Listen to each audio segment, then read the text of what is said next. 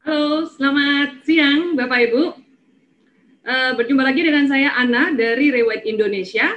Uh, hari ini seperti yang Bapak Ibu lihat di flyer kita, uh, tema flyer kita hari ini adalah What will define the new normal in Indonesian real estate.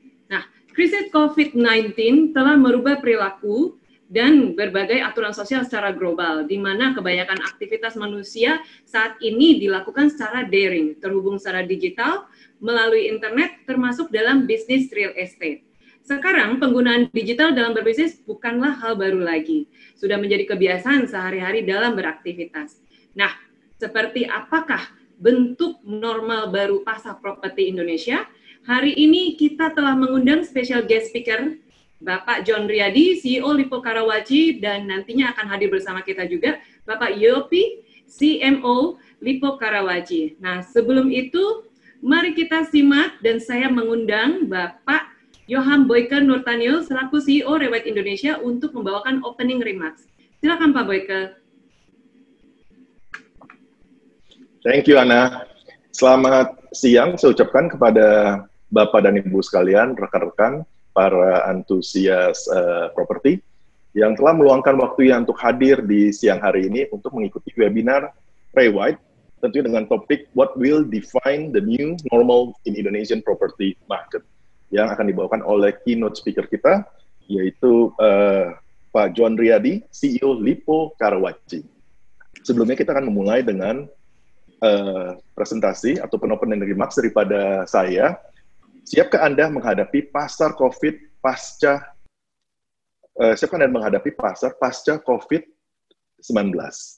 Dan seperti kita ketahui bahwa saat ini kita berada di uh, tengah-tengah PSBB yang mana pertama kali untuk di Jakarta uh, pertama kali dikenal uh, mulai tanggal 10 selama uh, 14 hari kemudian diperpanjang 28 hari.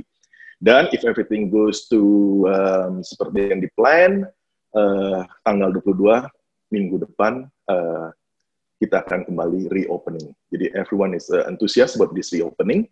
Tapi juga ada sebelumnya ada kabar gembira ya untuk anggota Arebi ya. Saya baru mendapatkan uh, kabar dari uh, Ketua Umum Arebi mengatakan bahwa anggota Arebi boleh beroperasi kantornya dengan maksimum empat orang. Dan ini uh, kelihatannya daerah untuk di daerah Jakarta karena suratnya itu dari atas nama dari kepolisian Metro Jaya. Dan anyway ini uh, dapat di double check kembali, terutama ke para pengurus RED. So that, that is a good news, ya. Yeah. Jadi kita melihat bahwa dampak COVID-19 memiliki berbagai efek terhadap orang-orang dari segala usia dan semua bagian spektrum ekonomi. Efek ini akan dalam banyak kasus merubah pembelian rumah, penjualan, dan keputusan kepemilikan selama berbulan-bulan atau bertahun-tahun mendatang. Ketika karantina dicabut dan krisis reda, ada potensi dari perubahan pasar yang akan kita lihat. Begini cara Anda bisa memposisikan diri dengan terbaik untuk melayani kemungkinan besar hasil akhirnya. Sepertinya, semua orang meraih bola kristal mereka, mencoba memprediksi langkah berikutnya dalam perang melawan COVID-19. Dari para pekerja kesehatan, bagi, bagi para demografer, sampai ke para ekonom tidak ada kekurangan pikiran tentang bagaimana penyakitnya akan menyebar dan efek apa yang akan terjadi. Hal yang sama adalah benar untuk bisnis tentunya. Mengukur dampak pada pendapatan, pengeluaran, dan peraturan merupakan bagian penting dari melemahkan dampak ekonomi saat krisis saat ini. Untuk agen real estate tentunya, yang berarti menentukan bisnis apa yang bisa kita lakukan sekarang. Dan bagaimana kita bisa menjawab kebutuhan klien dan memimpin sementara mengikuti order untuk tinggal di rumah. Dan peraturan pemerintah pusat tentunya. Namun itu juga penting untuk berpikir ke depan saat berakhirnya PSBB. Dan mempertimbangkan bagaimana pasar real estate mungkin terlihat dan apa perubahan yang tak terduga mungkin akan muncul. Potensi perubahan pasar. Dampak COVID-19 memiliki berbagai efek terhadap orang-orang dari segala usia dan semua bagian spektrum ekonomi. Efek ini akan, dalam banyak kasus, merubah pembelian rumah, penjualan, dan keputusan kepemilikan selama berbulan-bulan atau tahun mendatang. Kita mungkin melihat beberapa efeknya, semua perubahan seperti berikut. Yang pertama adalah upsizing. Bahkan sebelum COVID-19, ada agen mendengar dari empty nester. Empty nester itu adalah, uh, barangkali sekarang ini adalah uh, Generation X, yang mana masih memiliki orang tua dan juga uh, memiliki anak yang sekarang belajar di uh, college ataupun sedang kuliah. Mereka barangkali saat ini uh, anaknya mulai bekerja dan uh, telah melakukan downsize terlalu jauh. Barangkali sekarang mereka merasakan pada saat PSBB. Apartemen mereka terlalu kecil atau rumah mereka terlalu kecil. Sekarang perguruan tinggi dan universitas ditutup. Kita belum tahu sampai kapan. Homeschooler mungkin berlanjut online.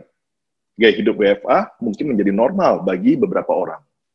Banyak pemilik rumah yang berpikir mereka bisa betah dengan ruang kecil. Awalnya mereka akan mulai upsizing, terutama setelah eh, enam uh, minggu lebih berada di uh, rumah tersebut untuk mencari apartemen lebih besar atau kembali membeli rumah tapak. Yang berikutnya adalah multi-generational living. Sementara itu sudah menjadi tren, rumah tangga multi generasi mungkin menjadi norma baru bagi banyak orang-orang, terutama saat ekonomi berdampak pada pekerjaan rencana kuliah di perguruan tinggi, dan perencanaan pensiun, dan lainnya. Selain itu, banyak pemilik rumah berpikir untuk membawa orang tuanya yang lansia untuk tinggal bersama. Mungkin telah memajukan rencana tersebut karena COVID-19. Mungkin mereka mencari tempat yang lebih cocok untuk situasi baru mereka. Jadi, anak-anaknya yang tadinya uh, kuliah sekarang harus kembali ke rumah karena homeschooling saat ini dan tentunya orang-orang lansia yang paling uh, uh, rentan terhadap COVID-19. Dan nanti mereka akan mengajak mereka tinggal bersama. Jadi dalam satu rumah ada tiga generasi yang tinggal.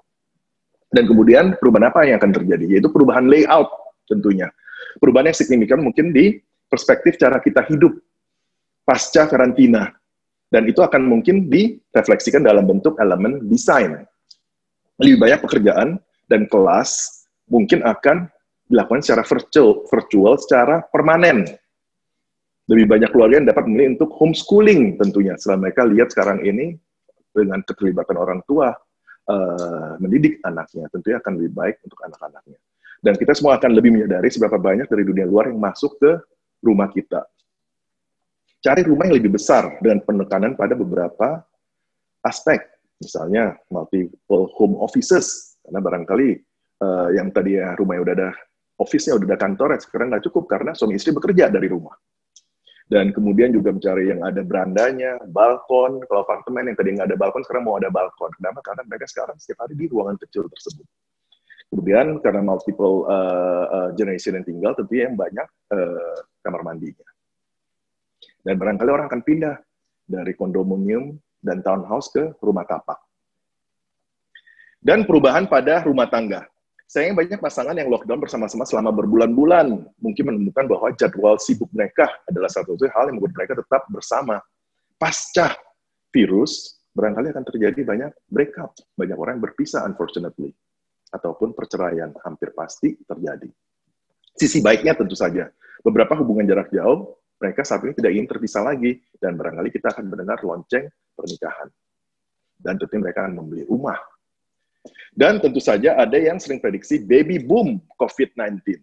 Ya, membutuhkan rumah yang lebih besar tentunya dan halaman belakang yang luas. Dan orang-orang akan berusaha untuk pindah dan kita melihat bahwa uh, kemarin baru diumumkan kita melihat di berita bahwa Twitter membolehkan uh, karyawannya semua untuk bekerja dari rumah untuk seterusnya. Dan kemudian uh, salah satu perusahaan teknologi juga mengatakan bahwa sampai dengan akhir tahun ini mereka akan work from home. Right? Jadi orang-orang akan berusaha untuk pindah lebih dekat ke kantornya untuk menghindar, menghindari komuter, ya kan? Karena sekarang adalah physical distancing. Atau jika mereka menyadari mereka dapat bekerja dari jarak jauh, contoh seperti tadi, seperti Twitter ataupun perusahaan lain yang yang uh, uh, to let the employee to work remotely. Mereka akan mencari rumah untuk pindah dari kota yang mahal tentunya if you live in the city, mereka akan mulai tinggal di suburb dan di pinggiran kota. Terutama kalau untuk Jakarta, daerah-daerah akan yang merebak tentunya adalah seperti daerah Bekasi, Cikarang, dan juga daerah Serpong, daerah penyangga ibu kota. Jadi nggak, mereka nggak perlu lagi untuk membeli rumah yang mahal di ibu kota. Gelombang besar sewa ditambah dengan unfortunately banyak terjadi uh, eh, PHK dan interupsi pekerjaan dan seharusnya mengakibatkan lonjakan dalam permintaan untuk rumah sewa atau apartemen. Selain itu beberapa transaksi tertunda, tidak akan diragukan lagi akan berlanjut. Jadi ini seharusnya segmen pasar yang hidup untuk beberapa waktu mendatang. Aktivitas investor dengan peningkatan kredit macet pada pasca karantina dan kita pernah ditelepon dari salah satu uh, bank owner mengatakan, you are in the right business, katanya. Dan keadaan seperti ini tentunya akan berdampak terhadap ekonomi dan juga berdampak kepada apa? Kredit macet.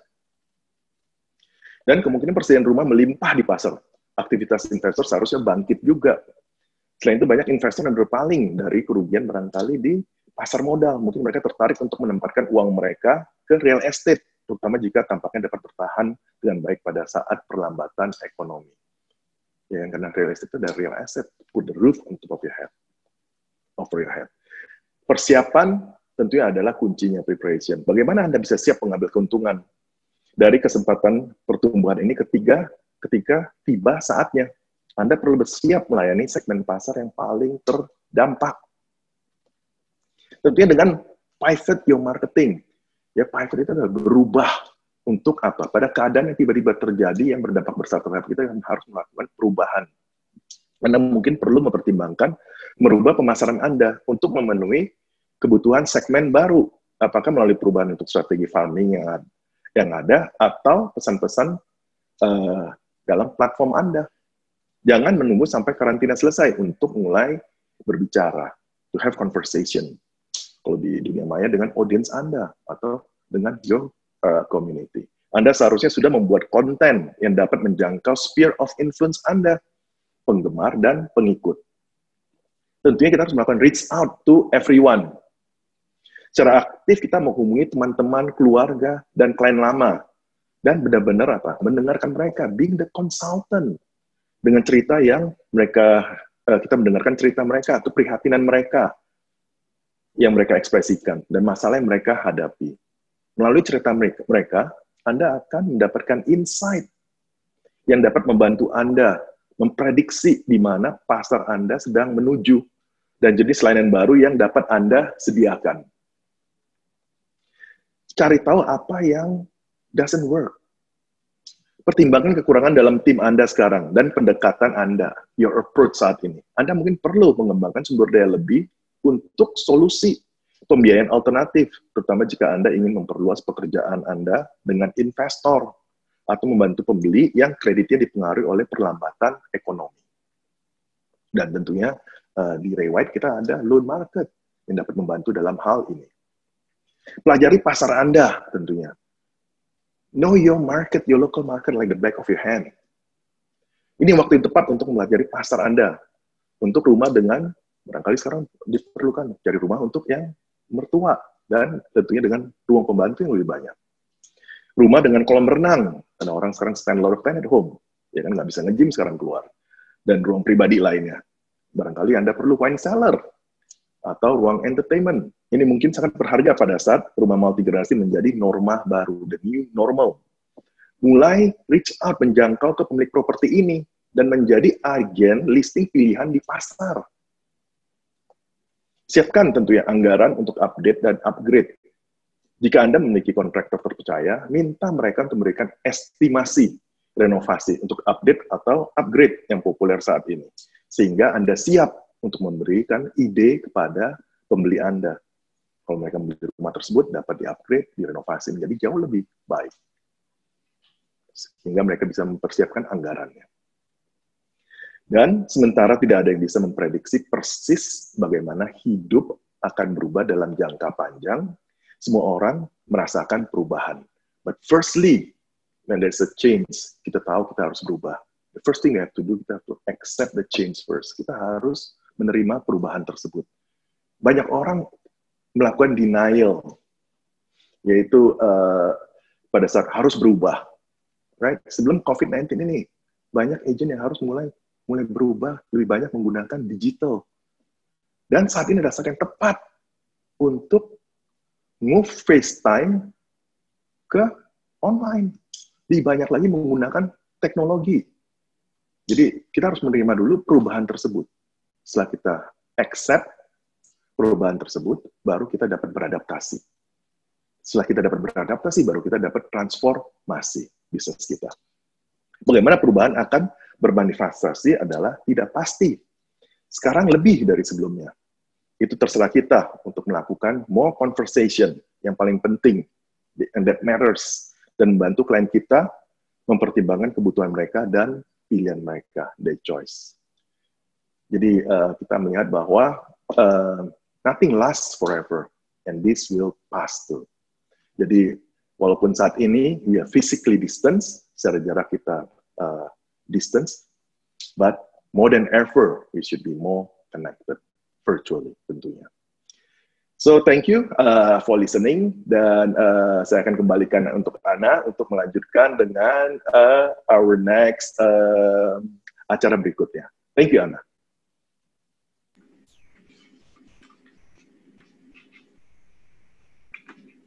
Terima kasih Pak Boyke untuk opening remarks-nya. Uh, next, kita uh, akan uh, acara next berikutnya, saya akan mengundang Ibu Levina Hermansyah dari tim Project Rewet Indonesia untuk uh, mengajak tim lainnya dan Bapak Yopi, CMO, CMO dari Lipo Karawaci untuk membawakan acara talk show tentang Project Lipo Cikarang. Uh, silakan Ibu Levina.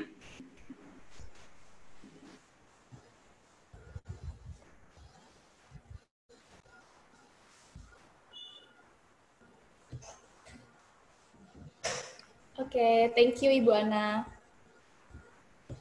Kedengeran ya Bapak Ibu suaranya? Kedengeran, kedengeran. Oke. Okay. Halo Bapak Ibu, apa kabar?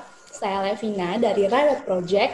Nah, sekarang kita akan membahas mengenai LIPO yang pastinya udah nggak asing buat Bapak Ibu ya dengar kata LIPO.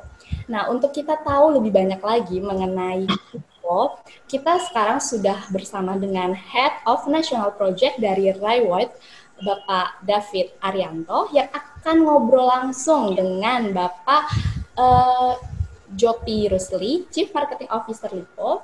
Yuk kita sama-sama simak langsung, silakan Pak David. Sebelum Pak David, saya ingin welcome Pak Yopi. Thank you Pak Yopi udah bersedia hadir di webinar kita siang hari ini. Selamat siang Pak Johan Weke. Apa kabar? Baik Pak. Dan welcome juga Pak Henry Riyadi, Pak, di acara kita hari ini, Pak. Welcome, Pak Henry. Oh, selamat siang. Oh, Pak Henry juga udah hadir. Selamat yeah, siang, Pak Henry. Thank you udah bersedia, thank Pak. Thank you for the time. Thank you for organizing nih, Pak Henry. No, no, thank you, Pak. Itu yang terima kasih, Pak. Oke, terima kasih, uh, Levina. Selamat siang kepada Pak Boyke, uh, Pak Erwin, yang sudah memberikan, tadi kita sudah dengar ya, Pak Boyke sudah memberikan penjabaran yang begitu detail dan perspektif yang sangat update yang sangat luar biasa ya dalam situasi COVID ini. Tentunya ini sangat memberikan uh, ide baru uh, yang buat buat kita semua ya. Dan sekarang pertama-tama saya ingin ucapkan selamat datang, selamat bergabung di webinar ini kepada Pak Yopi Rusli dan Pak Henry Riyadi. Selamat siang Pak Yopi, Pak Henry. Selamat siang Pak, selamat siang. Ya, apa kabar Pak? Baik Pak. Ya. Nanti topik kita ketemuan lagi Pak. Oh iya, siap Pak. Oke, okay, uh, mungkin saya mau awali pertama-tama ngobrol dengan Pak Yopi Rusli ya, sekilas mengenai proyek Lipo yang terbaru, boleh ya Pak Yopi ya? Boleh Pak David. Ya, ya kita semua tahu Pak, baru-baru ini Lipo kembali meluncurkan uh, sebuah proyek uh, di Cikarang ya Pak ya, proyek terbaru di Cikarang dengan nama Waterfront mana kemarin saya dengar pada saat launching di kalau nggak salah pada tanggal 21 Maret 2020 lalu langsung sukses sold out Pak ya, dua klaster. Dan ini sangat fenomenal nih Pak. Mungkin Pak Yopi bisa ceritakan sedikit, Pak mengenai hal tersebut. Oke, Pak David, selamat siang dan juga rekan-rekan Ray White uh, di sana. Uh, mungkin sedikit cerita tentang Waterfront Estate ya Pak David ya. Ya, mungkin um, kita itu waktu launching pas-pasan ya, pas sebelum waktu itu mulai ada uh, PSBB dan lain sebagainya. Tapi uh, tentu uh, project Waterfront Estate ini sudah di-prepare atau disiapkan jauh sebelum itu. Dan uh, mungkin yang yang membuat uh, project ini bisa uh, jualan dengan sukses yaitu kita uh, mengincar segmen pasar yang harganya antara 500 juta sampai 1 M itu uh, Pak David. Ya. Karena itu merupakan satu uh, kebutuhan ya, kebutuhan dengan segala macam up and down. Uh, tentu kebutuhan perumahan masih terus didorong oleh urbanisasi dan juga populasi gitu ya. Jadi misalnya orang yang masih uh, belum menikah, dia akan cari rumah baru ya. Jadi tetap mesti punya rumah dan lain sebagainya. Gitu Boleh ya. dikatakan buat kaum milenial ya Pak ya? Ya bisa jadi kaum milenial ya. Uh, karena milenial sekarang bisa sampai 37 tahun, 30 uh, hampir 38 tahun ya kalau senior yeah, ya. millennials yeah. ya. Jadi yeah, yeah. cocok juga untuk keluarga muda, keluarga muda okay. yang yang memang uh, mencari rumah. Nah, uh, dengan segmen ini ya mungkin salah satu yang kita uh, buat lebih adalah kita pakai top designer pada David.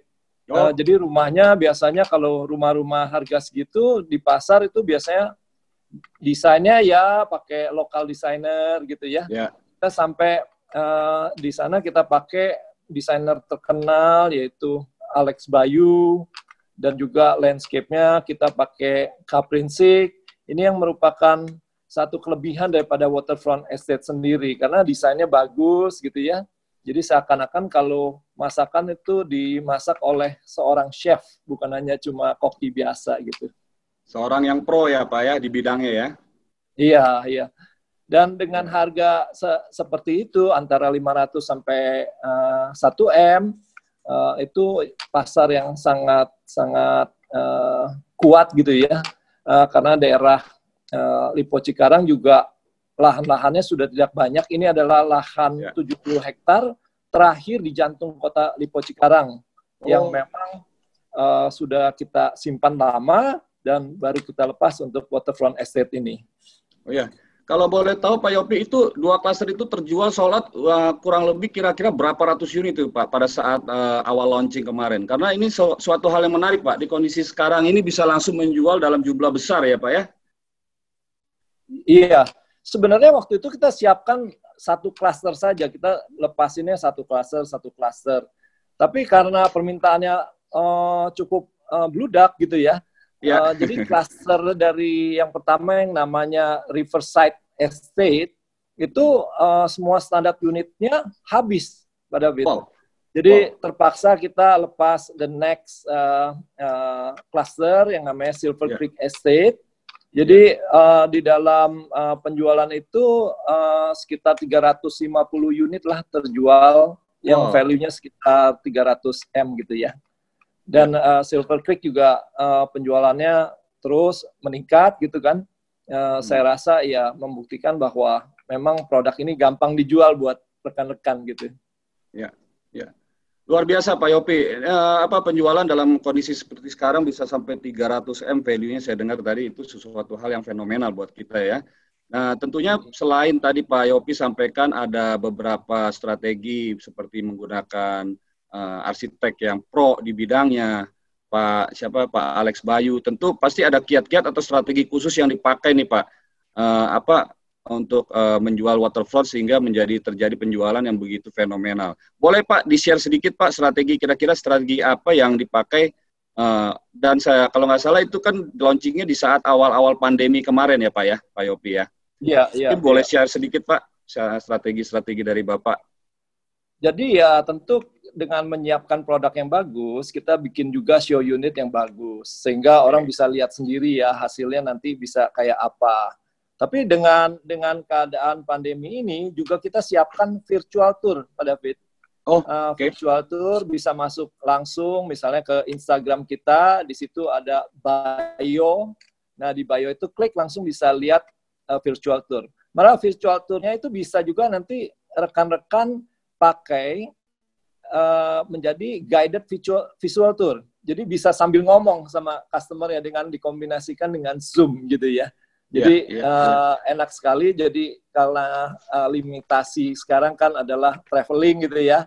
Jadi yeah. dengan guided visual tour ini kita akan uh, lebih memudahkan rekan-rekan kalau mau membantu kita menjual gitu loh. Oke, Dan wah luar biasa. Uh, promosi juga jalan terus, Pak David. Iya, iya. menarik ya. Iya, iya. Yang, yang eh. terus diberikan oleh Waterfront Estates.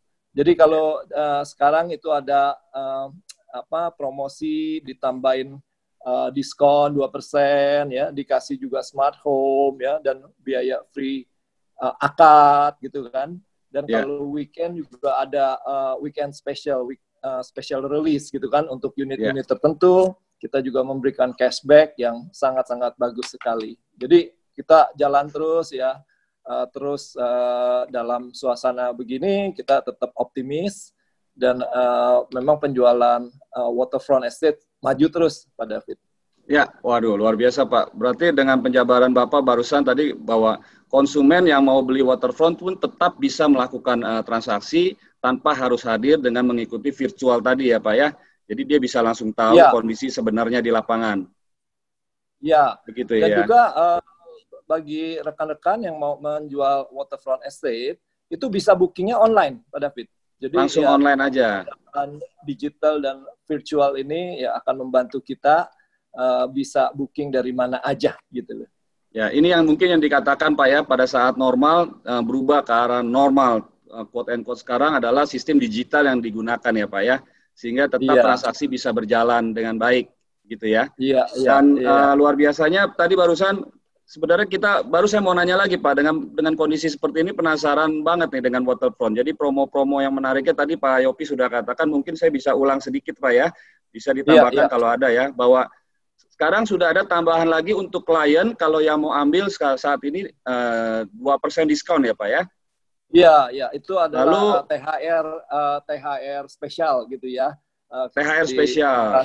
Uh, customernya akan mendapatkan uh, diskon tambahan dan juga uh, biaya alih hak dan juga bonus uh, smart home Pak. Sekarang oh. kan uh, semua ya. Uh, salah satu kelebihan juga di Waterfront Estates karena yeah. di sini juga ada Pak Henry, Pak John itu ya karena yeah. Lipo Group juga yang uh, apa memiliki first media sehingga untuk cable TV, untuk internet itu yeah. pasti yang paling bagus lah gitu loh. Uh, jadi kalau misalnya terpaksa juga kita mesti work from home, nggak usah khawatir, mau nonton bisa, nggak usah ke bioskop, ya kan? Dan juga uh, internetnya juga pak pasti kencang sekali ya kan uh, dan home security-nya juga ada gitu loh pak jadi ini satu paket yang yang uh, cocok sekali buat saat-saat ini Wah luar biasa. Ini menurut menurut saya ini salah satu terobosan uh, luar biasa lagi yang dari Lipo ya. Karena dengan harga rumah sekitar 500 jutaan aja sudah belum tentu semua rumah mendapatkan fasilitas yang barusan disampaikan Pak ya. Sudah langsung dapat kabel TV, uh, digital semuanya sudah dalam satu paket ya Pak ya? Iya, dan juga ya. kalau uh, pakai pakai internetnya itu ada repeaternya uh, Pak David. Jadi ya. baru cerita-cerita kan kita anak-anak sekarang homeschooling gitu ya. Ya, ya memang uh, problemnya kadang-kadang uh, mungkin yang salah satu mesti ngalah ada di kamar gitu ya. Betul. Uh, tapi nggak usah khawatir dengan repeater gitu kan. Uh, itu bisa di dua tempat uh, mengadakan meeting. Jadi salah oh. satu yang yang menjadi uh, apa uh, persyaratan di masa ini gitu kan yeah. ada zoomable room gitu. satu workplace yang bisa zoomable bisa dipakai buat uh, satu studi, satu juga kerja gitu kan ya yeah. tanpa mengganggu satu sama lain. Jadi ya, sekali lagi, semua ada paketnya. Betul betul. Nah sekali lagi uh, bahwa kalau beli rumah di Project Lipo itu sudah mendapatkan sesuatu yang advance nih kalau saya dengar dari Pak Yopi. Ini hal yang advance yang didapat oleh klien walaupun rumah dengan harga 500 ya affordable sampai 1 M tapi sudah mendapatkan semua fasilitas tersebut ya.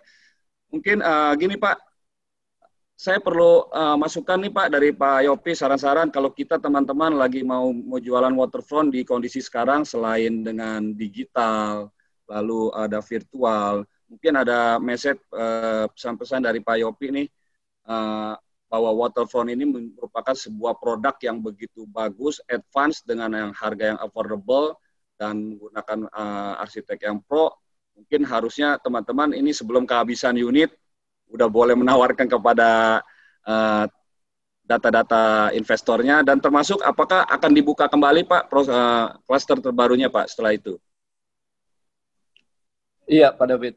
Jadi saya rasa di kondisi apa pun sebagai seorang sales mesti pintar mencari peluang, yaitu uh, mengerti tentang uh, market kita, siapa uh, calon pembeli kita ya Uh, yeah. Mungkin salah satu cerita ya uh, uh, ada waktu itu satu orang tua yang senang tinggal di uh, rumahnya dia disuruh pindah juga nggak mau gitu kan. Seorang yeah. sel bisa bisa mendekati dan tahu bahwa anaknya anak perempuan udah udah waktunya mungkin udah untuk menikah gitu ya.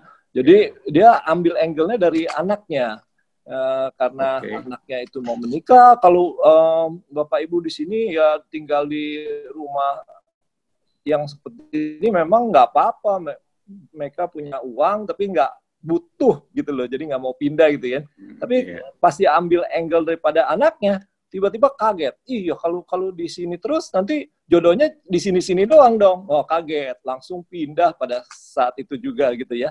Jadi yeah. dalam masa-masa ini dan masa-masa uh, yang lain ya seorang sales mesti jangan putus asa dekatilah calon pembeli kita nggak jual rumah tapi menjadi konsultan yang baik gitu ya uh, dan dengan begitu kita bisa melihat kebutuhannya dan menawarkan produk-produk yang tepat gitu loh angle-nya yeah. pas gitu ya dan tentu uh, waterfront akan uh, terus karena waterfront estate 70 hektar ini bukan hanya residensial pada David akan yeah. juga nanti ada komersialnya dan lain sebagainya next cluster dan lain sebagainya jadi uh, uh, masih banyak yang bisa dijual dan tentu sangat welcome ya uh, tim kita kalau tim rewide mau datang kita akan siapkan semua ya kan uh, tapi kalau lagi susah ya pakai virtual tour dan bisa pakai zoom kita anytime bisa ngadain meeting Ya, oke okay, oke. Okay. Wah, berarti yang harus dirubah adalah mindsetnya Pak ya, dengan angle yang tadi diceritakan bahwa seorang marketing itu tidak boleh putus asa, bahkan harus merubah mindset, melihat segala peluang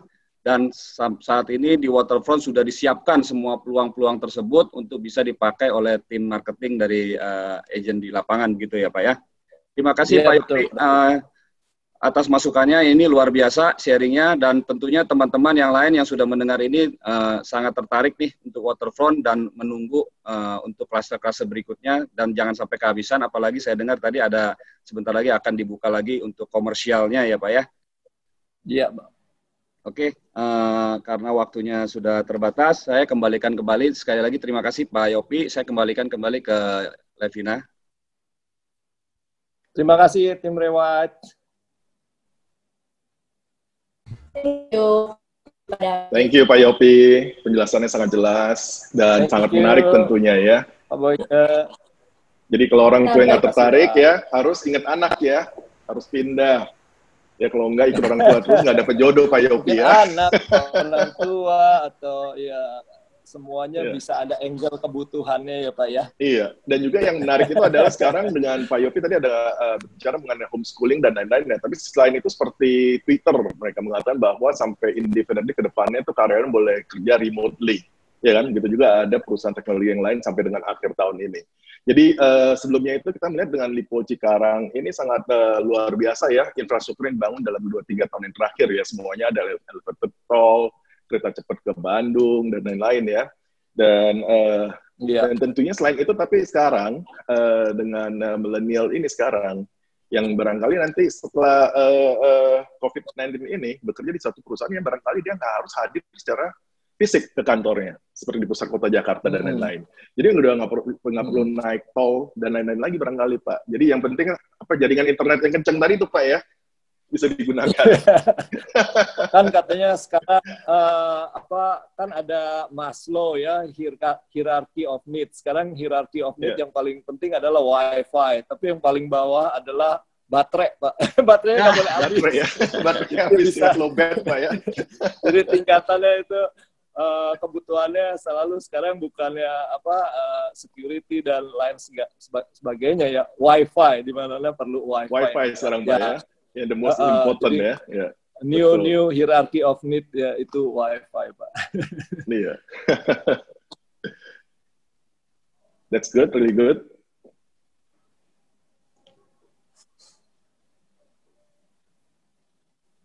Okay, thank you Pak Jopi, Pak David, Pak Boyke. Sangat menginspirasi buat Bapak Ibu juga yang mungkin ingin tahu lebih banyak tentang waterfront nanti bisa kontak-kontak sama saya. Nanti saya kasih blast untuk promosinya, untuk materi-materi PDF lainnya untuk waterfront. Nanti bisa hubungin saya Levina. Nah, sekarang saya kembalikan ke Bu Ana. Thank you.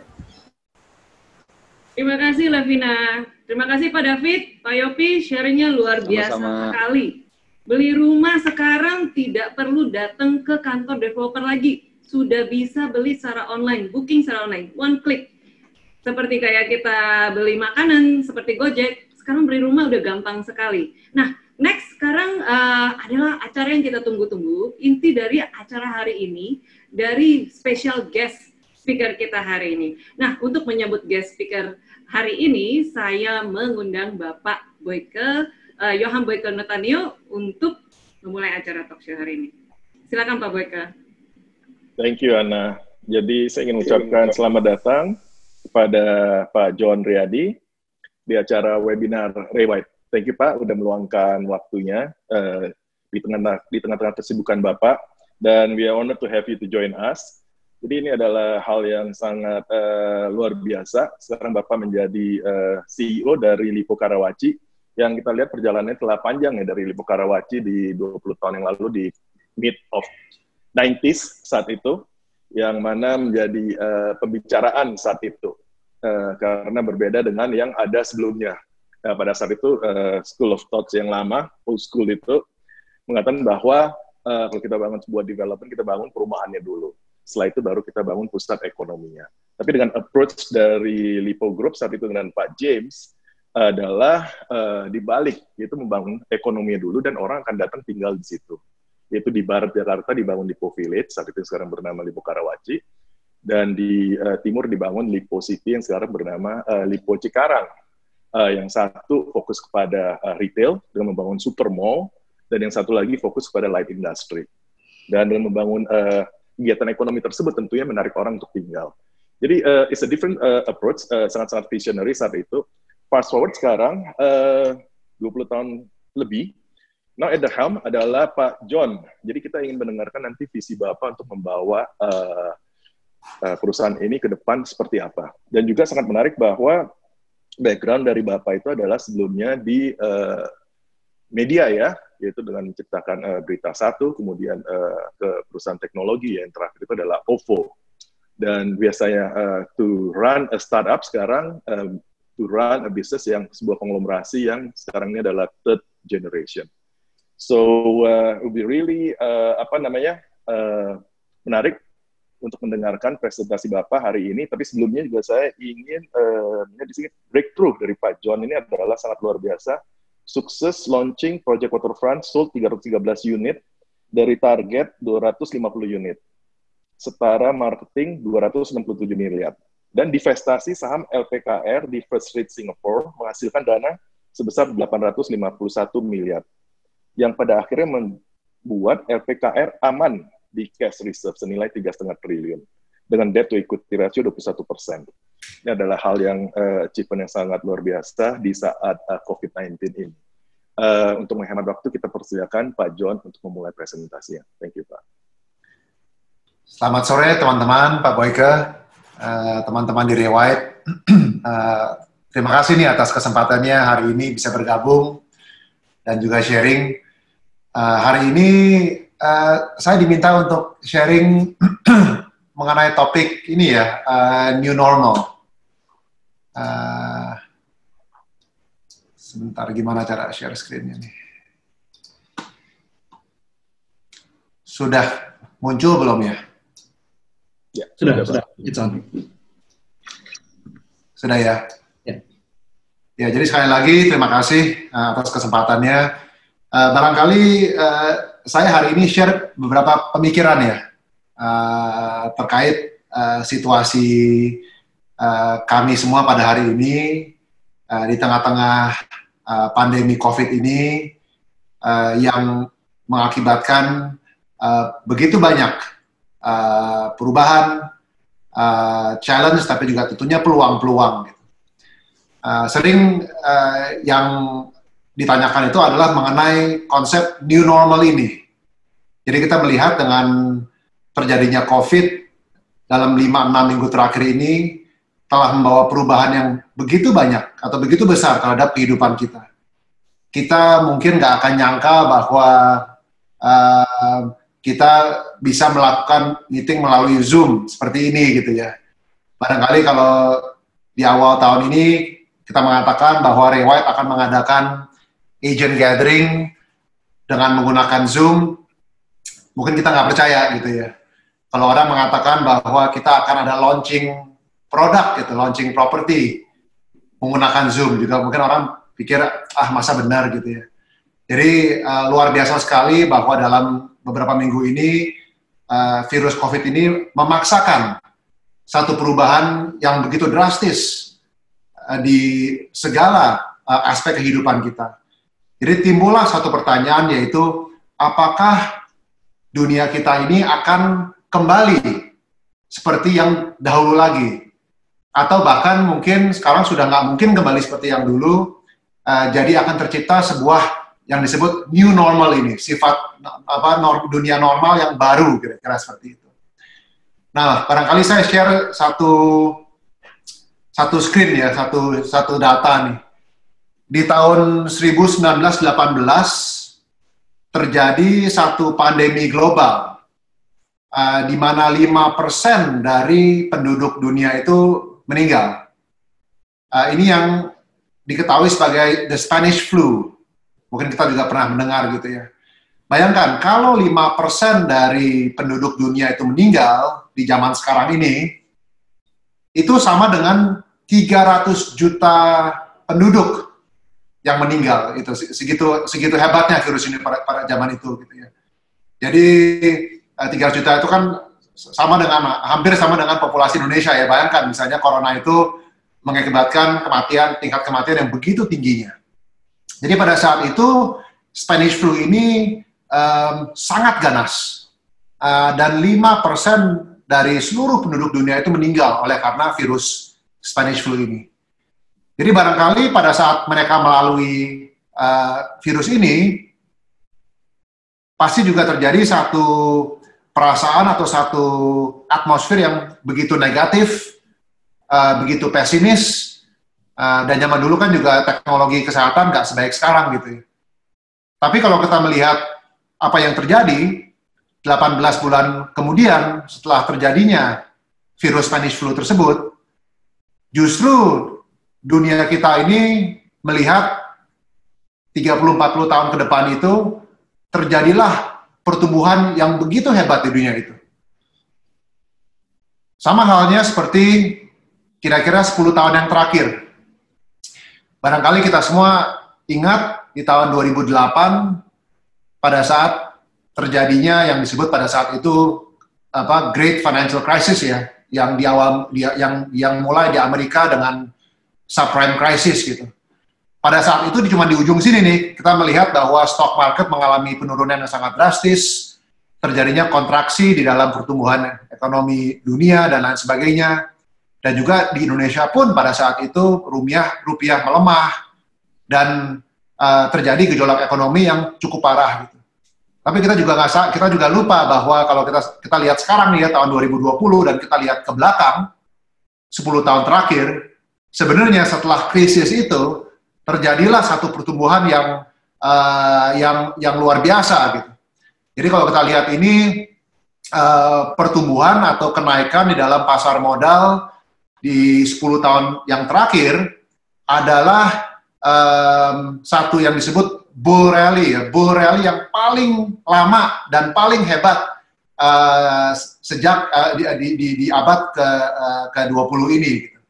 Jadi kita lihat di contoh dari yang pertama tadi yang setelah kejadian Spanish flu dan juga yang di kejadian yang di subprime tahun 2008 ini kita lihat bahwa uh, kejadian-kejadian uh, yang mungkin pada saat kita melalui itu kita merasakan sangat berat dan sangat negatif dan seakan-akan dunia ini sudah mau berakhir dan nggak mungkin situasinya itu membaik. Kalau kita take one step back gitu ya kita melihat bahwa sebenarnya uh, setelah itu terjadilah sebuah uh, progres dan sebuah pertumbuhan yang luar biasa sekali. Gitu. Jadi mungkin buat saya uh, pada saat saya menghadapi dan melihat situasi sekarang ini yang juga sama ya begitu uh, luar biasa negatifnya gitu ya kita nggak membayangkan kita nggak bisa terbang nggak bisa ke Singapura nggak bisa ke kantor nggak bisa ke sekolah gitu ya dan sekarang PHK begitu banyak rupiah melemah tapi saya yakin bahwa uh, jika kita bekerja keras dan kita terus berusaha dan berusaha yang terbaik dan berkati Tuhan, uh, tentunya uh, masih banyak sekali peluang yang bisa didapatkan.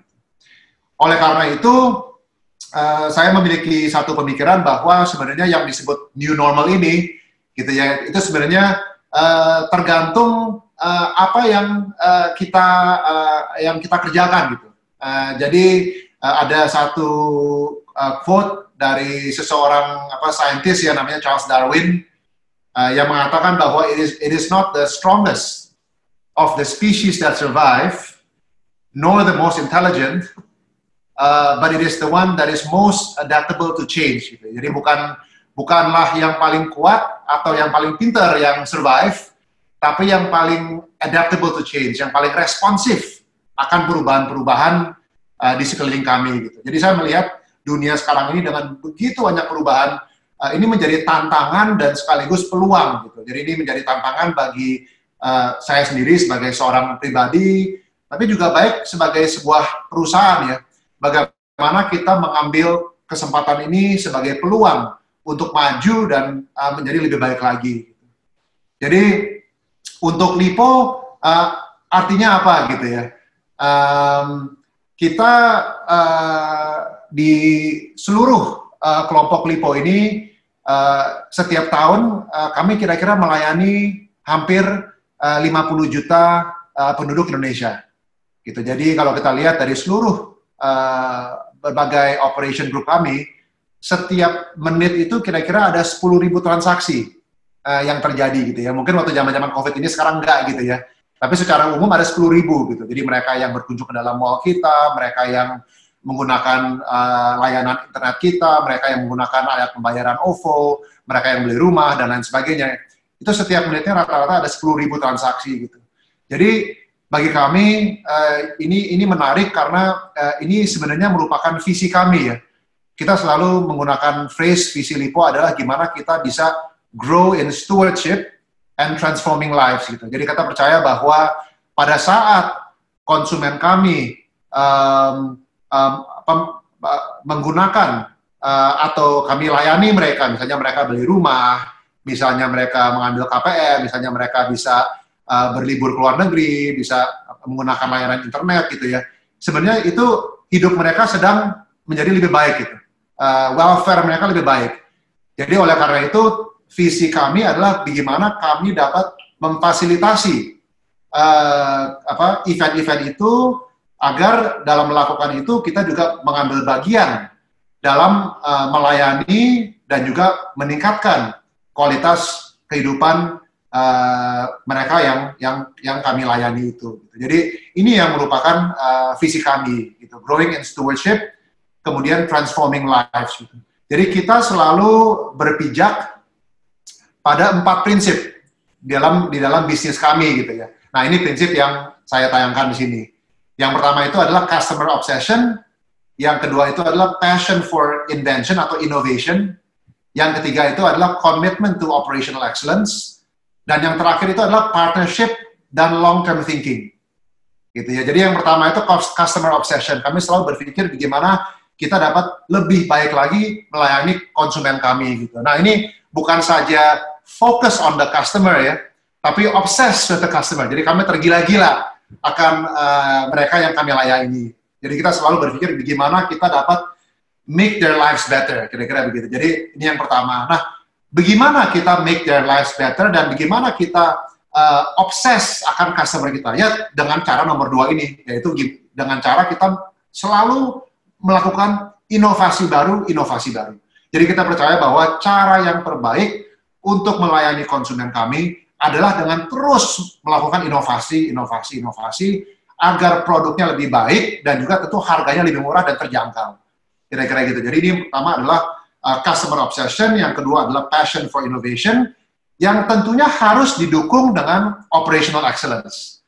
Gitu ya. Jadi adanya satu konsistensi dari tahun ke tahun terus kita melakukan satu uh, operational excellence. Dan yang terakhir adalah partnership dengan long term thinking. Jadi tadi mungkin Pak Boyke cerita mengenai Lipo Karawaci dari tahun berapa dan Cikarang dan lain sebagainya gitu. Jadi memang ini kami selalu berpikir gimana kita berpikir long term.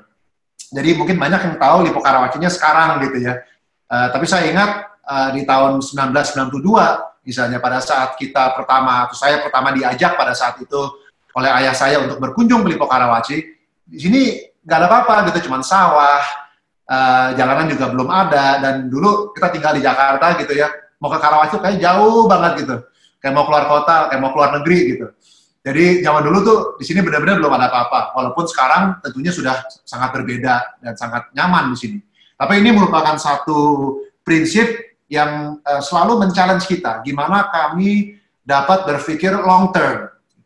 Dan untuk itu kami selalu ber, ber, berpikir atau percaya bahwa kita nggak mungkin bisa long term kalau kita kerja sendiri. Jadi konsepnya partnership ini penting sekali. Uh, makanya antara lain tentunya uh, kemitraan uh, dan kerjasama yang erat dengan mitra-mitra kami, misalnya Ray White, uh, merupakan sesuatu yang sangat penting. Kira-kira begitu. Jadi inilah di dalam uh, keadaan sekarang yang sangat sulit, yang sangat berat tentunya, uh, kami menggunakan waktu-waktu uh, ini untuk uh, untuk lebih lagi mendalami uh, visi kami ini growing in stewardship dan transforming lives. Jadi barangkali saya share beberapa foto-foto ya. Jadi misalnya ini nanti, nanti saya share ya ini adalah um, uh, gedung apartemen kami di Karawaci namanya Fairview dan Hillcrest uh, yang baru kami selesaikan.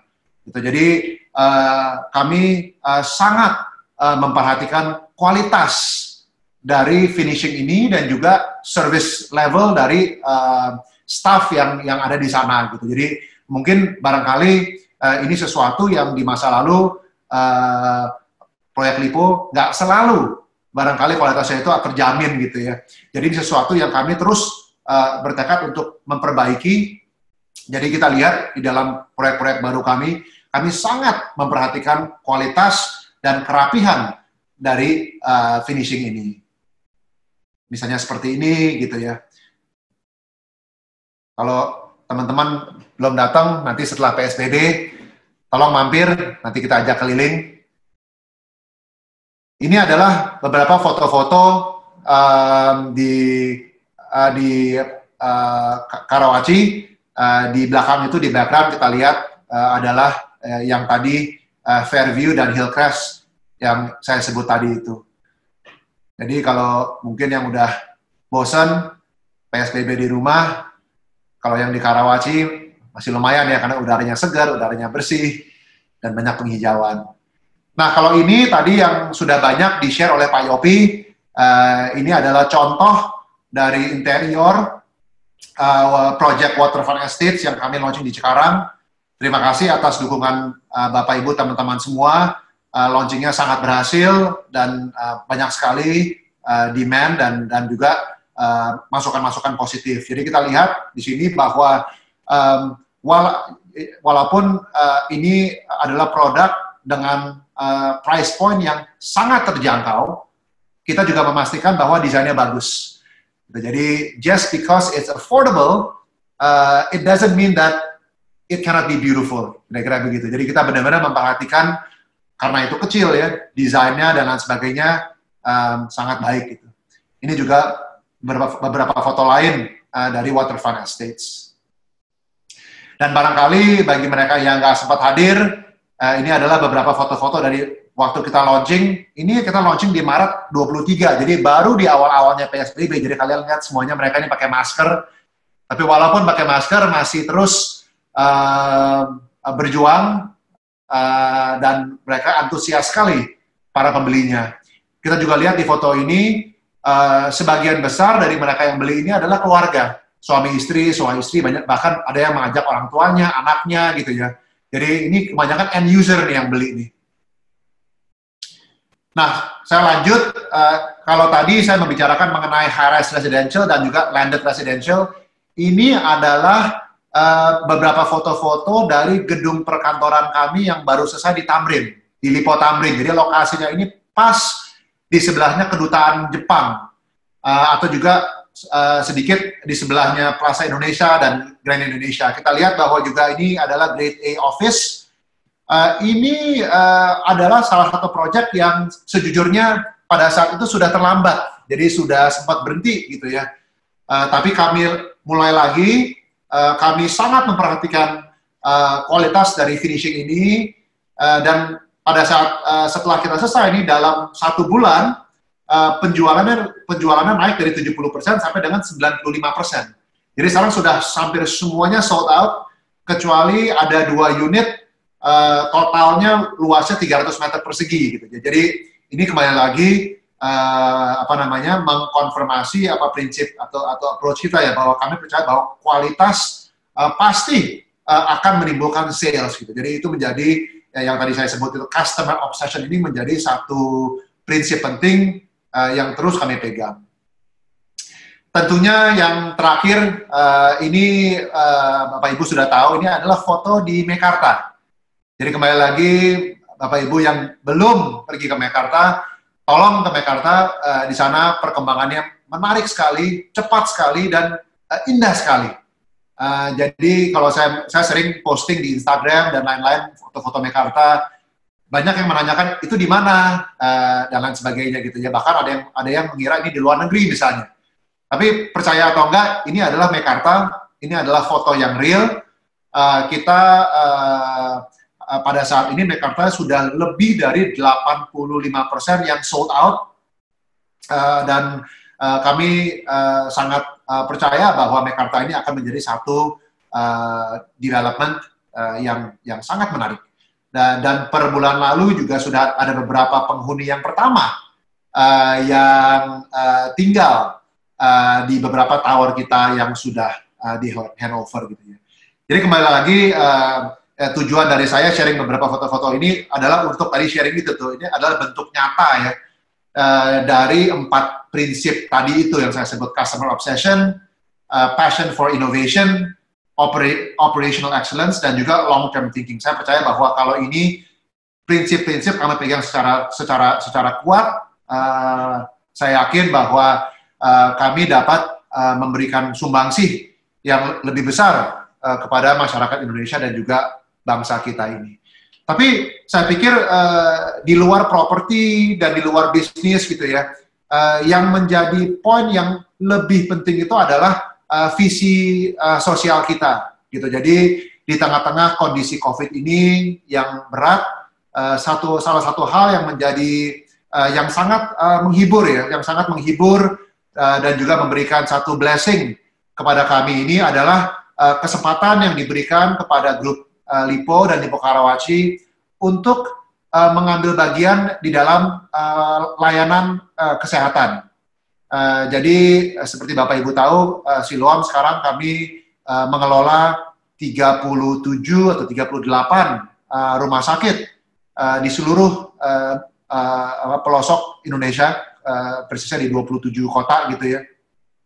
Jadi tentunya di dalam um, 5-6 minggu terakhir ini dengan terus meningkatnya tingkat COVID ini, uh, ini menjadi satu pergumulan yang berat sekali untuk kami. Uh, tentu uh, yang um, terus berjuang adalah mereka-mereka ini yang di frontline workers.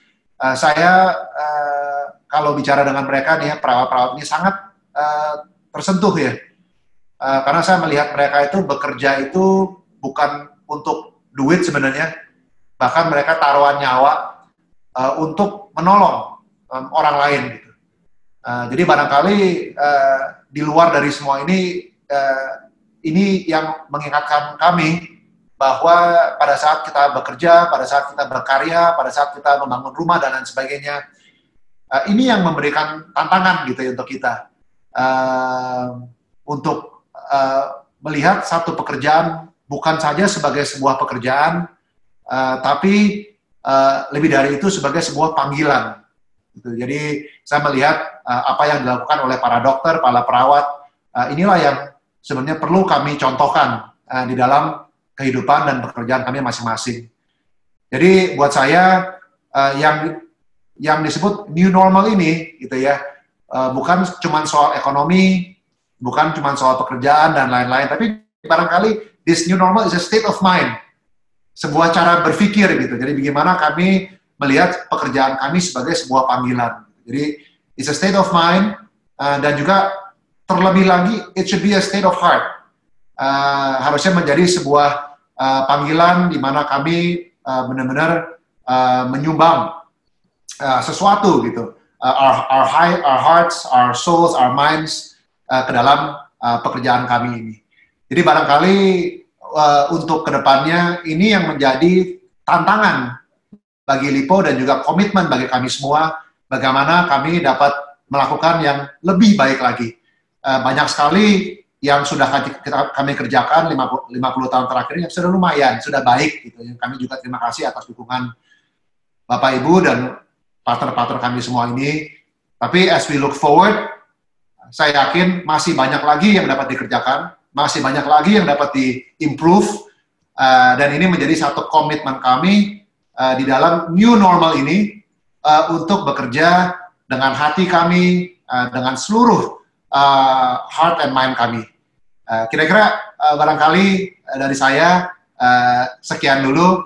Uh, nanti kalau ada pertanyaan, uh, saya uh, senang untuk untuk menjawabnya. Pak Boyke, terima kasih. Baik Pak John, terima kasih Pak sharingnya ini saya dapat insight yang baru Pak ya. Jadi salam kenal Pak John, saya Erwin Karya. Uh, jadi new normal itu adalah is a state of mind ya Pak ya. Kenapa Erwin? Jadi tentunya orang uh, new normal orang orang kan suka mikir gitu new normal seperti apa ya kehidupan kita gitu ya. Kenyataannya yeah. kita nggak nggak mungkin nggak tahu persis ya. Ya. Uh, saya selalu bilang bahwa uh, there will be some things yang akan kembali seperti yang lalu. Yeah. Contohnya gitu ya kita melalui pengalaman COVID ini, yang saya yakin banyak dari sana dari kita itu coba untuk potong rambut di rumah misalnya saya yakin hal seperti itu akan kembali gitu karena kita merasa bahwa nggak, nggak kita nggak bisa lah seperti itu. Tapi hal yang lain misalnya meeting-meeting dengan Zoom gitu ya uh, khususnya di Jakarta yang begitu macet, saya pikir ini jadi solusi yang sangat baik gitu ya dan saya lihat dengan Zoom ini kayaknya orang Indonesia jadi semakin on time gitu. Kalau yeah. ketemu ini kan alasan macet ini itu gitu ya. Yeah. Jadi uh, ini ini ini yang satu pemikiran kami. Baik, by the way saya lagi berkantor di Lipo Tamrin Pak, yang tadi Bapak sebutkan. Oh gitu ya? Thank you. Saya di lantai 5 Pak, Pak John. Rewind was uh, is one of our customers there. Thank you, yeah. Pak. Thank you Pak Boyka. Jadi tadi kalau Bapak bilang uh, customer obsession, waduh, kita jadi tersentuh tuh Pak ya. Kita juga selain partner dengan Lipo dan pemasaran produk Lipo, kita juga adalah customer dari Lipo. Nah, sebelum saya mulai... Semoga Pak Aaron bisa ini ya, bisa apa namanya, kasih uh, membenarkan ya yang saya ngomong tadi. Kita benar-benar memperhatikan uh, quality of finishing dan lain-lain. Betul Pak, jadi kita cukup happy berkantor di sini. Nah sebelum saya mulai masuk pertanyaan Pak John dari para audiens kita, uh, saya persilakan Pak Johan Boyke mungkin mau uh, tanyakan satu dua hal Pak, silakan. Silakan. Ya, yeah. thank you Pak John, presentasinya sangat-sangat luar biasa dan inspirasi. Kita juga sebelumnya berbicara mengenai uh, ini ya, tadi mengenai adaptasi ya bicara mengenai uh, change ya untuk perubahan itu we have to accept first ya once we accept that only we can adapt setelah kita adapt baru bisa kita bertransformasi. Ternyata inline juga dengan uh, apa namanya presentasi bapak ya mengenai transforming life ya dari uh, apa namanya visi daripada Lipo katanya. Setiap sepuluh ribu setiap menit ada sepuluh ribu transaction every minute. Sangat sangat luar biasa ya. Jadi katanya dari kita lahir, ya kan akan berhubungan dengan Lipo ya, lahirnya di rumah sakit Siloam ya, kemudian uh, tinggalnya di uh, salah satu dari perumahan Lipo dan kemudian sekolahnya juga di SPH sampai dengan uh, kita belanja ya ke salah satu mallnya dan juga ke department store-nya. Dan when we do banking juga berhubungan dengan banknya dan insurance dan semuanya. Dan uh, apa sangat-sangat uh, menarik. Jadi Bapak bicara mengenai visi tadi, ada empat visi hal tersebut. Like to touch on that ya. Barangkali nanti Erwin lebih ke pertanyaan yang apa uh, new normal dan uh, presentasi ya. But like to touch because uh, kita melihat bahwa uh, Lipo Group sendiri adalah uh, perusahaan yang telah berdiri dari uh, tahun 50-an ya. and it's uh, apa namanya it's a family business and it's run by apa namanya it's run by uh, the third generation. Jadi uh, in terms of family business ya, yang kita maksud di sini adalah uh, even though it's a public listed company, yang the family still own the significant share and uh, it's lead by the, the the family. Jadi seperti Rewide uh, Group sendiri, Rewide telah berdiri uh, telah hadir lebih daripada 100 tahun dari 1902 dan uh, juga uh, termasuk satu uh, top 40 family business in the world ya among seperti IKEA, BMW maupun Tata Group maupun Walmart ya. Jadi uh, kita lihat bahwa in family business family value is very important, right? Dan you talk about stewardship, uh, stewardship tadi ya, di kita juga to lead is to serve. Jadi kita melihat bahwa yang I like to ask sebenarnya question itu about succession And uh, karena di bisnis kita ini, uh, we think that we win leadership business dan succession is very important for us ya, for, untuk uh, sustainability daripada uh, business. So in succession ini, you just got the uh, the, the the top job uh, last year uh, pada saat badai dan sekarang ada badai berikutnya dengan COVID-19. So uh, suksesinya udah lama dipersiapkan or uh, seperti apa? Can you share on the succession story and, and how uh, karena ini juga banyak didiskus di ini ya uh, Harvard Business School dan setiap tahun kita mengundang Profesor uh, Boris Groysberg dari Harvard hadir di Ray White di, di, di, di Sydney setiap tahunnya dan ini adalah tahun kelima untuk uh, discussion, uh, case study dan lain satu adalah succession. Can can you share about uh, the the succession story in in your company, Pak?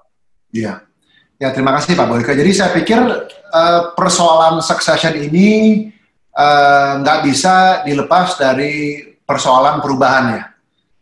Jadi eh, kenyataannya adalah kami kita semua hidup di dalam sebuah dunia yang perubahannya begitu drastis. Uh, dan ini bukan saja di Indonesia, tapi di, di the whole world, ya Pak.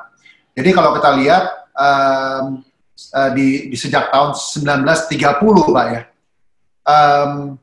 rata-rata uh, jumlah tahun uh, sebuah perusahaan Fortune 500 dapat bertahan di dalam daftar Fortune 500 itu ya.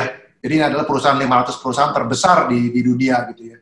Kalau kita lihat zaman dulu ya gitu ya, mungkin tahun 40, 50, 60, 70, 80 gitu ya. Itu rata-rata perusahaan kalau udah masuk ke dalam Fortune 500 itu bisa 20 30 tahun nggak berubah. Terus di sana gitu. Tapi kita lihat bahwa dengan seiringnya waktu gitu ya khususnya sekarang the average number of years di mana sebuah perusahaan dapat bertahan sebagai anggota Fortune 500 ini semakin lama semakin singkat.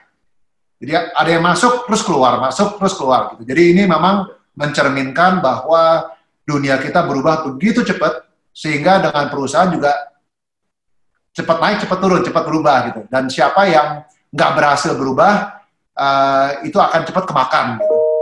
Jadi uh, saya yakin, uh, saya, saya tahu bahwa untuk Pak Mokhtar, ya, yaitu uh, grandfather dan juga sekaligus founder dan chairman dari dari Lipo, Pak Mokhtar selalu membicarakan mengenai change ini, change dan change dan change ini. Uh, jadi kalau bagi Bapak Ibu yang mungkin pernah ketemu atau mendengar Pak Mokhtar sharing gitu ya, Pak Mokhtar selalu membicarakan mengenai change. Gitu. Jadi uh, uh, sebuah succession plan ini uh, adalah uh, sesuatu yang memang selalu harus dibicarakan. Gitu ya. Jadi sekarang pun kita sudah membicarakan succession planning bagaimana 5-10 tahun ke depan ini.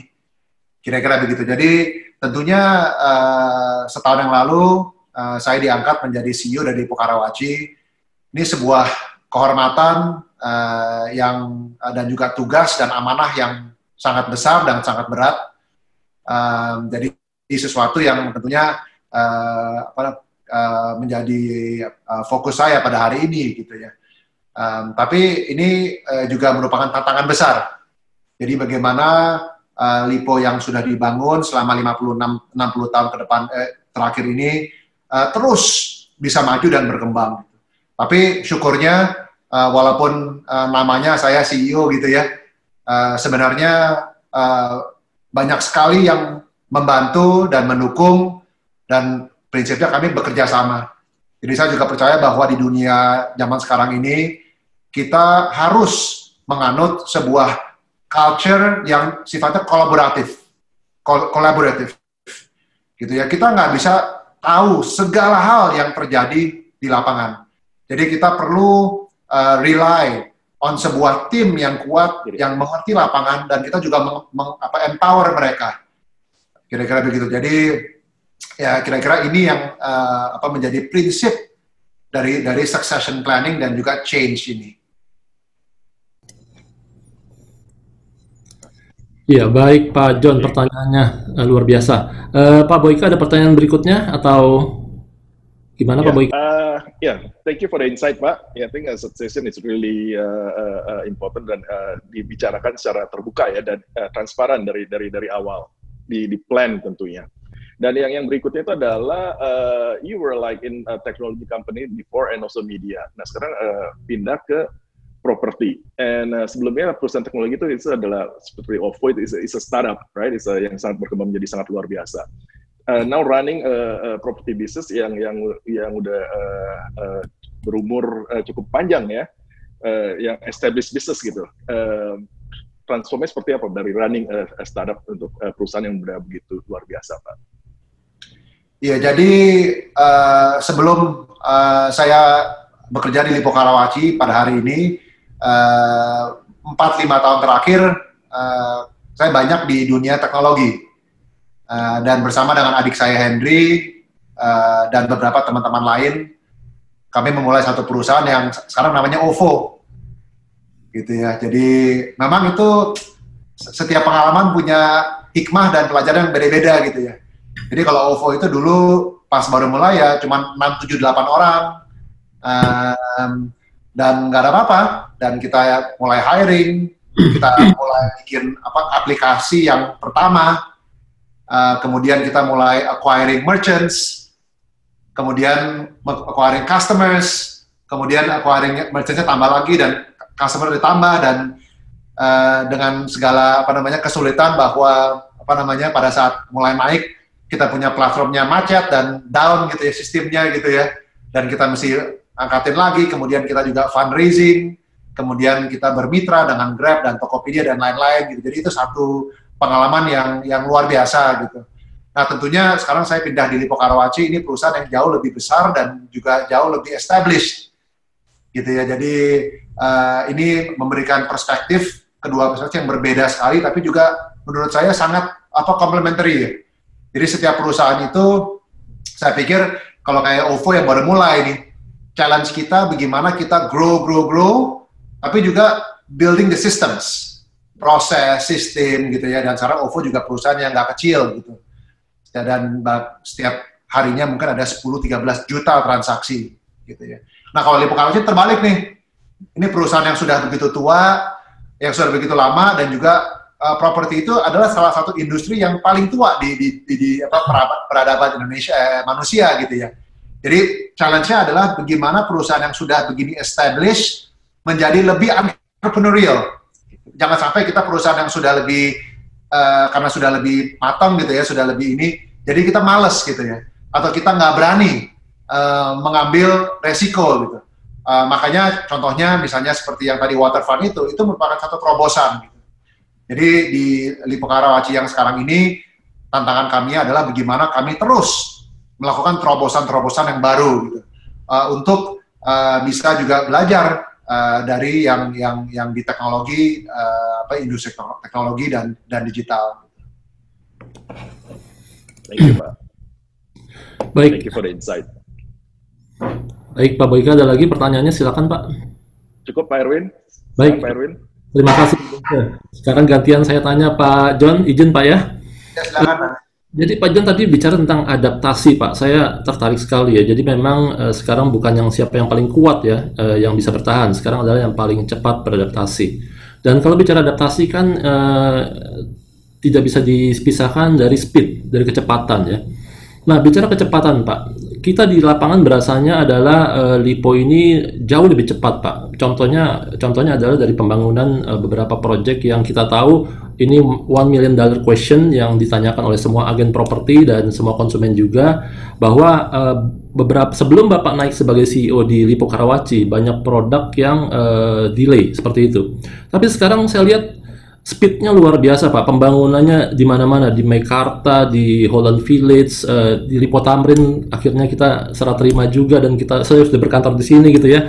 Nah, apakah speed itu yang yang sekarang benar-benar sedang Bapak terapkan Pak? Sekarang kita berasanya begitu Pak. Silakan. Ya. Jadi ya terima kasih Pak Erwin. Uh, kalau saya melihat um, da, perjalanan perjalanan Lipo Karawaci ya, uh, barangkali uh, 20 tahun uh, yang yang lalu gitu ya. Uh, Lipo Karawaci ini kan awal mulanya Pak adalah hasil dari merger enam perusahaan properti dijadikan satu. Ini ini kalau nggak salah dulu tahun setelah tahun 98. Jadi ada enam perusahaan properti yang macam-macam digabungkan menjadi yang Lipo Karawaci ini. Ya. Nah, di awal itu sebenarnya Lipo Karawaci itu cuma banyak land bank, Pak. Hmm. Banyak tanah yang menjadi land bank. Ya. Ada yang di Lipo Karawaci, yang di barat Lipo Cikarang, yang di timur waktu itu dulu juga Sentul, yang di selatan Makassar, yang di Sulawesi Selatan gitu ya, land bank. Dengan seiringnya waktu kita melakukan development, Pak. Ya. Development.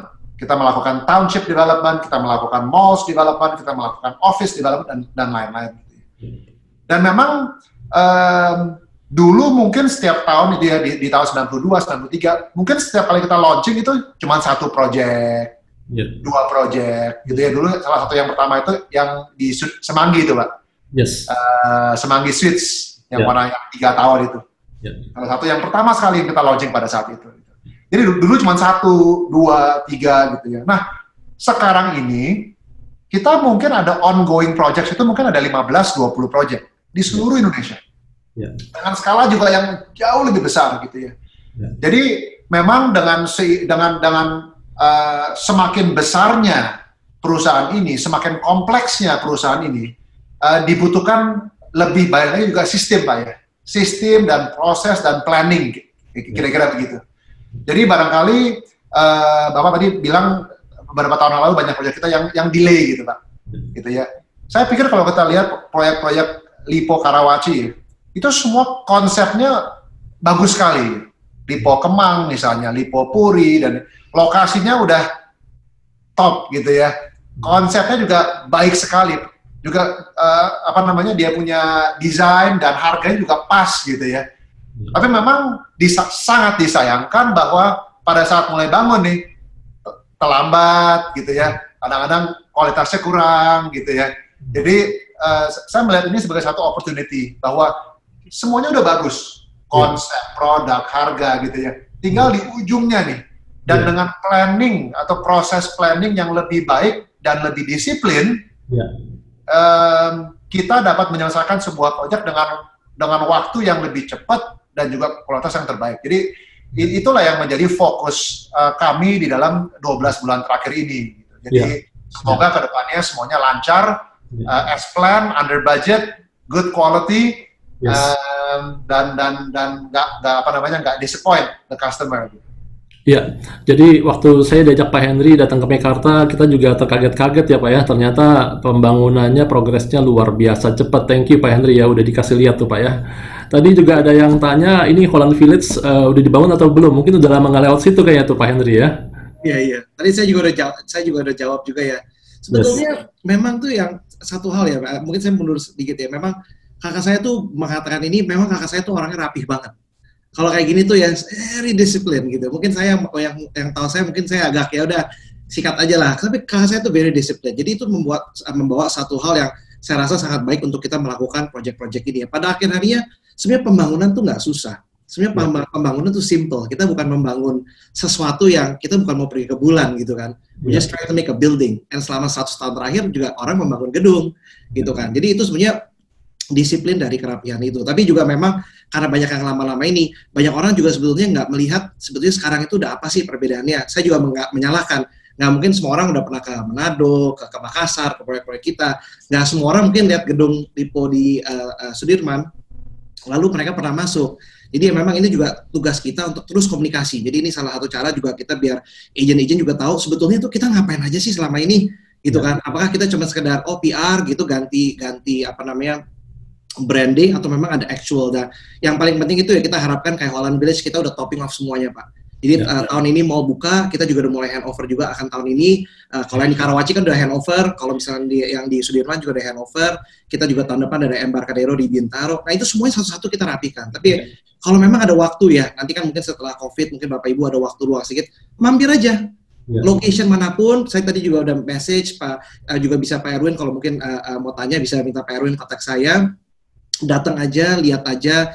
At the end of the day, seeing is believing lah gitu kan. Dan itu semua progres itu bisa dilihat. Bahkan tadi saya udah posting, saya nggak tahu nih apakah bisa dilihat itu ya, live streaming live streamingnya juga ya. Jadi live streamingnya Mekarta, live streamingnya Holland Village, live streaming mana. Jadi semua orang tuh walaupun di rumah juga bisa lihat gitu pak. Baik, jadi sepertinya akan hanya waktu yang bisa menjawab ya Pak Henry ya. Ya, Tapi, dikit lagi lah Pak, dikit lagi. Kalau nggak ya. COVID nih, kita mungkin bisa lebih cepat 2-3 bulan. Tapi ada COVID is oke okay lah, beda 2 bulan oke okay lah. Tapi kita full speed kok. Hmm. Waktu dan waktu dan dukungan White, Pak. Ya, ya, thank you, Pak. Jadi sebenarnya tuh agen itu suka Pak jual produk Lipo, Pak, karena kita tinggal tunjuk aja, Pak, tunjuk projectnya ini Lipo Karawaci, ini Lipo Cikarang udah jadi dan uh, very nice tinggal di situ kan ya. Ada Pak David juga tinggal di Lipo Karawaci. Jadi semua produk yang sudah jadi itu bagus, Pak, hasilnya. Dan saya juga sudah berkantor di Lipo Tamrin. Saya juga happy di sini, Pak ya. I'm the only tenant di sini, Pak ya. Yang baru yang yang buka ya. Nah, saya masuk uh, pertanyaan berikutnya adalah uh, bahwa tadi Bapak juga bilang bahwa dalam setiap krisis selalu ada peluang dan dan seperti di aksara China itu ditulis seperti itu, Pak. Uh, di mana peluangnya Bapak lihat Pak pasca pandemi terutama? Bagi bagi Lipo Karawaci, Pak ya. Jadi um, saya pikir uh, kalau kita lihat di, di Indonesia ya, ini saya juga mungkin nyambung dengan beberapa pertanyaan. Saya lihat nih berapa lama perkiraan waktu agar industri properti bisa kembali melambung dan lain sebagainya gitu ya. Ya, nyambung. Kita melihat sebenarnya kita nggak bisa, tentu kalau kita melihat cuman sekarang nih ya, sebulan, ya. dua bulan, tiga bulan, memang berat gitu. Orang pada PHK, ya. yang punya bisnis bisnisnya tutup, hmm. cash flow-nya berantakan, dengan bank aja udah udah restructuring, gimana mau beli rumah dan lain sebagainya gitu ya. kalau kita mundur gitu ya, kita melihat bahwa um, tingkat kepemilikan rumah di Indonesia ya, itu jauh di bawah negara-negara lain. Jadi hmm. bayangkan, negara kayak India yang per kapitanya cuma nggak sampai seribu dolar, kita udah tiga ribu kita Indonesia ya, dua ribu lima ratus tiga ribu gitu ya. Mereka hmm. di delapan ratus dolar gitu ya. Jadi jauh negara yang lebih apa tanda kutip miskin dari Indonesia gitu ya. Hmm. Tapi tingkat kepemilikan rumah mereka jauh lebih tinggi. Hmm. Kita nggak usah ngomong kalau Singapura, Hong Kong ya jelas Malaysia mereka lebih tinggi ya, itu wajar gitu ya. Yeah. Tapi dibandingkan negara-negara yang berkembang lainnya, di sini juga rendah sekali gitu. Yeah. Jadi jelas bahwa dari supply dan demand ini banyak sekali yang apa namanya yang disebut apa backlog ya, housing backlog ini. Yeah. Jadi saya percaya bahwa inilah peluangnya gitu. Di dalam uh, 10 tahun ke depan harusnya jumlah ke, apa tingkat kepemilikan rumah di Indonesia itu naik kira-kira 20 persen. Jadi kalau 20 persen dari jumlah rumah tangga di negara kita ada 60 juta, kira-kira gitu ya, 60 juta, 20 persen adalah kira-kira 12 juta rumah yeah. atau rumah tangga gitu ya. Ya itulah pasar kita gitu. Hmm. Nah kalau kita lihat, kita setahun jual berapa apartemen sih seluruh Jakarta nih ya, seluruh paling 20 ribu, 30 ribu gitu kan ya. Jadi memang angka ini jauh di bawah dari total demand ini yang yang dibutuhkan. Nah, yeah. Tapi kita mesti ingat ini, semua agen-agen properti dan kita pemain properti ya, kita selalu uh, bermimpi atau berfantasi gitu ya untuk kembali hmm. ke tahun apa 2008, 2019, 9, hmm. 10 itu the, the golden years gitu kan, kira-kira begitu kan Pak ya. Terus saya pikir kita nggak bisa lihat ke belakang. Gitu. Ya. Karena gini, tahun-tahun itu 2008, 2009, 10, 11, 12 itu adalah Indonesia itu sedang melalui satu commodities boom. Hmm, betul. Commodities yeah. harga harga coal, harga CPO, semuanya gila-gilaan. Jadi memang itu bubble yang apa namanya menurut saya nggak akan uh, terulang. Dan sekarang kita lihat justru harga minyaknya kemarin bisa negatif, betul. gitu kan ya harga komoditas semuanya jatuh gitu ya. Jadi tentunya dengan dengan harga-harga komoditas ini jatuh, itu nggak baik untuk perekonomian Indonesia. Jadi kita nggak bisa berharap properti pasar properti kembali seperti yang lalu. Gitu. Hmm. Tapi itu nggak berarti yang ke depannya akan buruk. Hanya hanya berbeda aja. Ya. Perbedaannya apa? Perbedaannya adalah kalau yang lalu itu pembelinya banyak yang pembeli investor atau ya. pembeli spekulan. Kalau sekarang itu pembelinya adalah end users. Hmm, betul. Gitu. Jadi kita mesti fokus kembali lagi ya tadi yang prinsip kita mesti kembali fokus on what the customer wants. We must be obsessed with what the customer wants dan memberikan itu di harga yang terjangkau. Yeah. Gitu. Jadi saya yakin kalau itu kita fokuskan, yeah. demandnya itu nggak kecil gitu. Jadi saya percaya bahwa sekarang pun demandnya ada. Yeah. Gitu kan. Jadi kuncinya adalah produknya yang pas dengan harganya yang pas. Iya. Baik. Ada pertanyaan Pak dari audiens juga. Apakah ke depannya Lipo akan akan uh, bangun produk yang uh, apa penuh terobosan seperti itu Pak? Uh, terutama berhubungan dengan teknologi. Tadi Pak Yopi jelaskan sangat bagus sekali ya. Jadi sekarang saya sendiri merasakan Pak bisa booking rumah waterfront itu melalui online. Seperti saya beli di uh, Tokopedia lah seperti itu. Nah, ada ada terobosan apa Pak ke depannya Pak? Ya, jadi saya pikir kalau kita bicara inovasi properti itu ada beberapa dimensi. Ya. Pertama adalah dari produk, product ya. innovation nih. Ya. Jadi ini yang tadi Pak Yopi cerita, misalnya dengan sekarang adanya orang sering work from home gitu ya kalau dulu kan coba di rumah-rumah yang kita desain, mana ada sih office? Ya. ya kan kalau ada pun itu biasa office apa bisa dibikin tempat tidur dan lain sebagainya gitu ya. Ya. Tapi sekarang itu menjadi satu satu hal yang penting gitu ya. Uh, apa internet service yang tadinya mungkin optional sekarang juga menjadi sangat penting kira-kira begitu. Jadi uh, tentu dari pertama dari perspektif product innovation hmm. gitu ya. Yang kedua adalah dari marketing marketing dan distribution tadi yang Bapak cerita nih.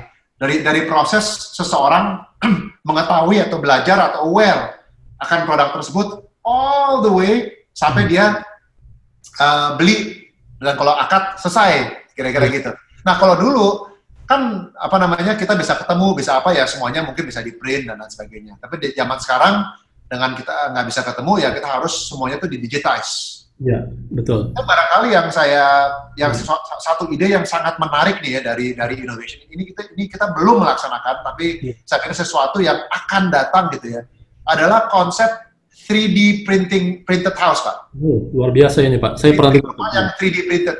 Bapak ya. bayangkan kalau sekarang kita bangun rumah yang kira-kira 60 meter persegi hmm. gitu ya. Kalau 60 meter ini bangunan aja ya di luar tanah gitu ya kita kalikan 5 juta biar gampang deh gitu ya 5 juta kali 60 juta itu kan kira-kira 300 juta tuh. Yeah. Iya. Uh, cost dari itu. Bapak tahu nggak kalau yang 3D printing ini nih sekarang sudah di Meksiko dan di Amerika mereka sudah buat satu rumah dengan ukuran yang 60 meter itu berapa Pak harganya Pak? Berapa Pak? 10 persennya? 20 persen? So far 70 juta Pak. Wow. Jadi cuma 20 persen dari uh, apa namanya ongkos okay. sekarang. Oke bayangkan, kalau kita costnya 70 juta, Yeah. Kita bisa jual di harga 140, udah double pak cross marginnya kita. Affordable, affordable housing itu akan terwujud ya pak ya? Backlog itu akan akan kecap ya pak ya? Benar. Jadi dengan harga price point segitu, barangkali semua orang di, Indonesia bisa afford rumah misalnya gitu. Yeah. Tapi juga bukan hanya dari faktor cost pak, juga yeah. dari timing pak. Yeah. It takes 48 hours pak. Ya, yeah. wow. 48 hours. Yeah. Nah, tentu teknologi ini masih banyak masih banyak iya. hal-hal yang perlu diperbaiki, masih di fine tuning, gitu ya. Apa, Saya yakin. Apakah nah, adalah teasernya Pak? Mekarta itu kan juga cukup affordable ya. Mekarta itu teaser menuju ke sana Pak ya? Iya. Jadi memang saya pikir ke depannya ini visi kami ini harus bagaimana setiap orang itu memiliki satu apa bisa memiliki satu hunian ya yang iya. layak. Betul jadi untuk keluarganya dan lain sebagainya. Jadi untuk melakukan itu ya memang harga mesti terus turun. Gimana harga mau turun? Ya udah cost mesti turun juga. Gitu. Jadi gimana kita memberikan cost yang sangat terjangkau, tapi tentu kualitas dari produknya itu kita nggak nggak kompromi. Iya. Baik, thank you Pak. Jadi memang properti dikenal sebagai industri yang very slow moving Pak ya, sangat lambat pergerakannya dibandingkan inovasi maksud saya ya, dibandingkan financial itu ada fintech gitu ya. Kemudian uh, apa namanya uh, consumer good bisa ada di uh, commerce itu luar biasa seperti Tokopedia dan sebagainya gitu Pak ya. Tapi properti salah satu industri yang masih sangat berjalan lambat ya. Ini berarti dengan adanya Bapak sebagai CEO milenial nih Pak ya. Ini ini akan merubah akan merubah uh, peta pasar properti Pak? Seperti itu? Pasar properti? peta pasar properti, peta persaingan gitu Pak? Ada inovasi? Ya, iya, ya, saya ya kembali lagi ya, saya selalu berpikir bahwa kita harus uh, gini, industri properti ini mungkin salah satu industri yang biasanya suka telat inovasinya. Betul, gitu ya. Betul. Kita lihat kalau di teknologi, teknologi misalnya e-commerce, itu ya. Perubahannya setiap minggu, setiap dua minggu itu ada update up, fitur yes. baru, fitur baru, fitur baru gitu ya. Kalau properti kayaknya udah bertahun-tahun gitu-gitu ya. aja tuh. Gitu, ya. hmm. Ini bukan bukan apa saya menjelekkan yang lain, bukan kita semua kok. Kita sebagai sebuah industri ini harus harus bangkit ya. dan harus lebih inovatif gitu. Jadi barangkali uh, uh, ini ini bisa menjadi satu apa sumbangsih uh, kita bisa mengambil bagian ya di dalam perubahan-perubahan ini. Ya, baik. Thank you, Pak. Baik, mungkin uh, saya masuk ke pertanyaan terakhir, Pak, karena sudah ada tidak pertanyaan, tidak pertanyaan lagi, sudah dijawab semua ya. Uh, Bapak dikenal suka ini Pak ya, suka naik ojek online Pak ya, ojol ya. Nah ini ini karena memang umurnya Pak, uh, apa CEO milenial gitu ya, atau karena mau ikut-ikutan Pak Nadiem Makarim nih Pak, nggak mau kalah nih gitu Pak. itu gimana ceritanya itu Pak, bisa bisa suka naik ojol Pak? Itu ya sekarang sih enggak ya, karena kan nggak pernah nggak pernah ini ke mana-mana sekarang nih. Tapi Sebelum, di dalam kondisi biasanya ya. ini memang kadang-kadang saya naik ojol, karena emang macetnya keterlaluan. Betul. Ya. Kadang-kadang kita dari di Sudirman mau dari sana ke sini aja, aduh bisa ya. satu jam, satu jam setengah gitu ya. Jadi memang uh, ojek ini ya jalan-jalan tikus keluar kira-kira gitu. Jadi buat saya kan yang penting cepat, yang penting gampang gitu kan. Jadi Betul. Ini yang saya ini. Ya. Pak Erwin, saya ini ada satu pertanyaan di dalam skrip boleh nggak saya jawab nih sebagai penutup? Silakan, silakan Pak, silakan Pak. Ini dari Ricky, Ricky R.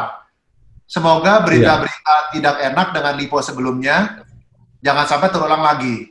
Sehingga kami sebagai property agent yakin 100% jika ya. menjual ya. produk lipo. Your customers are not only end users and investors, but also your property agents. Malah kami bumper terdepan jika developer bermasalah. Semoga ya. lipo developer berjaya kembali di bawah management.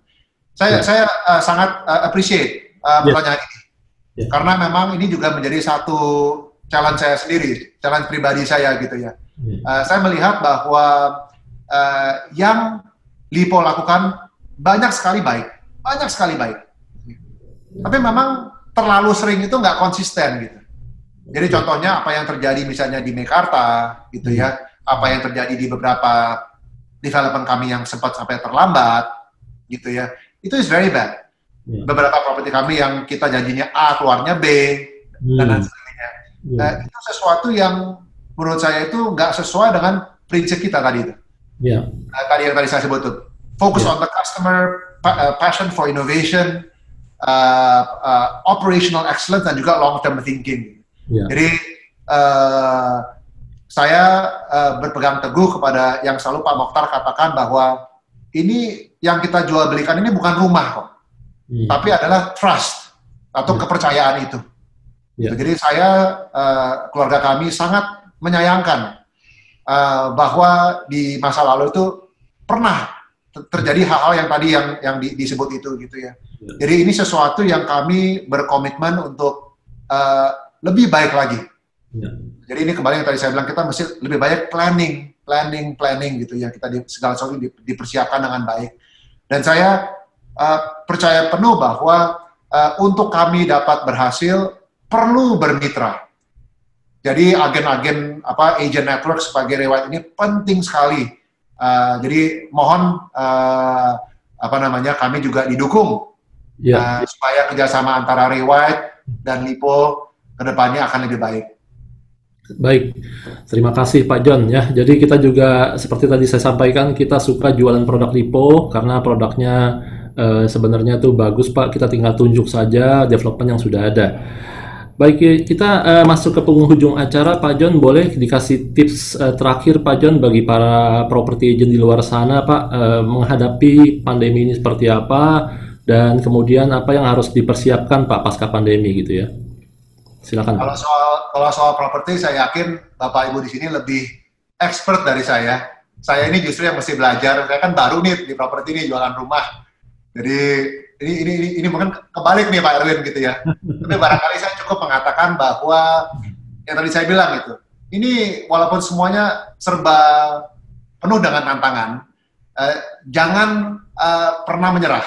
Yeah. Karena kita lihat baik di dalam di tahun 1918 pada saat Spanish flu ataupun tahun 2008 pada saat subprime crisis yang begitu uh, luar biasa sulitnya gitu ya. Kenyataannya setelah itu semuanya melejit gitu.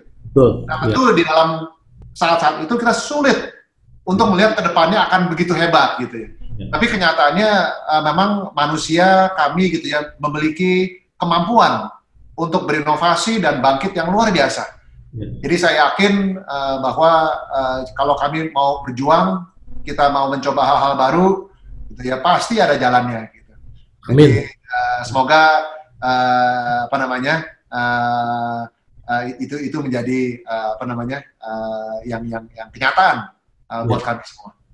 Baik, saya aminkan hal tersebut Pak John, terima kasih. Oke, saya berikan kesempatan terakhir Pak Henry mau tambahkan mungkin dari apa yang disampaikan Pak John. Pak Henry silakan saya ikut kakak saya aja lah pak. Udah jago pak. Follow follow the leader pak ya. Follow the leader ya. Wah luar biasa nih dari day nah, kakak saya punya direction udah benar sebetulnya kita tinggal perlu waktu aja tapi pada akhirnya benar itu kita melihat bahwa ini semua perlu mitra. Itu ya. adalah salah satu kunci kesuksesan OVO ya. Kita tuh bermitra dengan banyak mall di luar daripada Lipo, di luar daripada ekosistem kita. Ini sama aja di properti. Di zaman sekarang ini nggak nggak nggak bisa. Kita semua itu kita sendiri semua di konten nggak bisa it's all partnership dan kita tahu bahwa uh, Ray White ini banyak uh, agent-agent yang punya relationship ketat uh, erat sama uh, end user itu. Jadi ya kita kita harus kerjasama lah. Baik. Thank you Pak. Kata kuncinya adalah kolaborasi ya Pak ya. Seperti itu.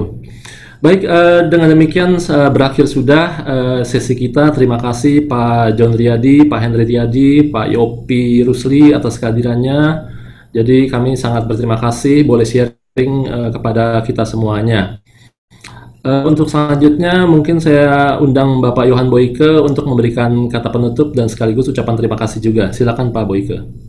Yeah, thank you Erwin.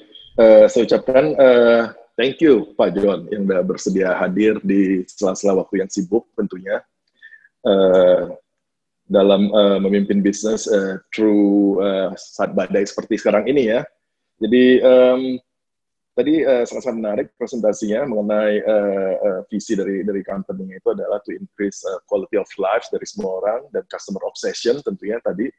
Dan passion for innovation ya. Jadi inovasi-inovasi dalam produknya maupun dalam uh, deliverynya dan distribution channelnya. Commitment to operational excellence. Dan yang terpenting adalah tadi ditekankan adalah partnership ya dan uh, long term thinking right? Jadi uh, juga dikatakan bahwa uh, what what is new normal uh, for Pak John? For Pak John itu new normal itu adalah state of mind and state of heart, ya. Tadi juga ada ditunjukkan uh, mengenai uh, ada slide uh, dari uh, para uh, petugas medis ya, para awak medik medik di uh, di Posiloam yang menjadi uh, garda terdepan dalam kita menghadapi COVID-19 ini. Dan uh, visi setiap orang harus bisa membeli rumah. Jadi udah terjawab tadi pertanyaannya. Jadi sebelumnya itu Lipo sangat fokus kepada pasar middle up. Sekarang ini lebih kepada middle low. Jadi yang affordable ya, visi setiap orang harus bisa membeli rumah. Jadi kita melihat bahwa seperti pertama di Mekarta dan juga di waterfront dengan uh, desain by uh, an architect ya, tadi Pak Yopi mengatakan uh, by chef kalau kita makan bukan by cook ya. Jadi uh, desain begitu indah dan lokasi paling prime di uh, pusatnya malah uh, eh, CBD daripada Lipo City ya, dengan harga yang affordable. Dan yang terakhir dan terpenting ada katanya, jangan pernah menyerah. I think that is very good advice for all of us. So thank you for sharing Pak John, uh, sharing your insight dan juga uh, kita melihat visi ke depannya dari Lipo Group. Dan juga saya ingin thank you kepada Pak Henry yang uh, telah mengorganize semua ini dan juga sangat-sangat mendukung Ray White selama ini dan juga Pak Yopi tentunya. Lewat dan dukung kita Pak. Terima kasih Pak. Thank you. Thank you Pak. Oke, kembali lagi dengan saya ada uh, seperti uh, apa yang Pak John Riyadi sampaikan, Lipo memberikan rumah bukan memberikan rumah, tetapi kepercayaan. Nah, menurut Pak John Riyadi, uh, the new normal is a state of mind. Tidak lupa juga is a state of heart. Nah, saya pengen cerita apa yang Rewet lakukan? Tadi kalau Bapak Ibu lihat video di awal, Rewet melakukan banyak aktivitas closing selama pandemi. Nah, apa yang saya sampaikan ini adalah uh, Rewet juga melakukan sesuatu uh, aktifan dalam lingkungan. Mari kita lihat video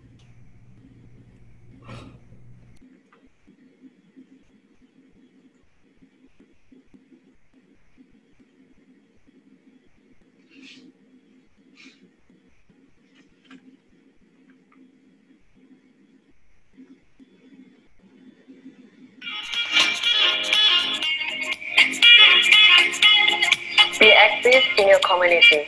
We care, we share.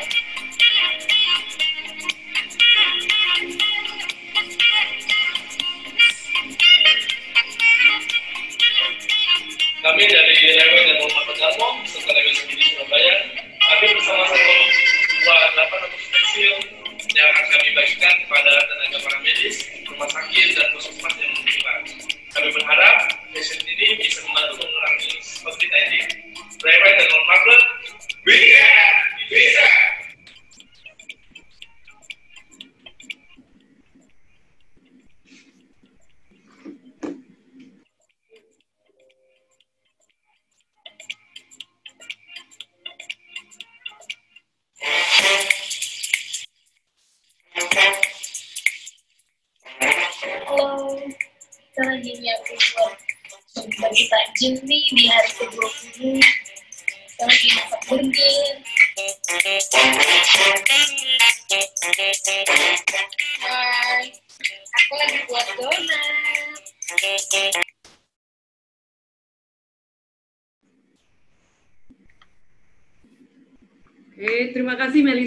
videonya.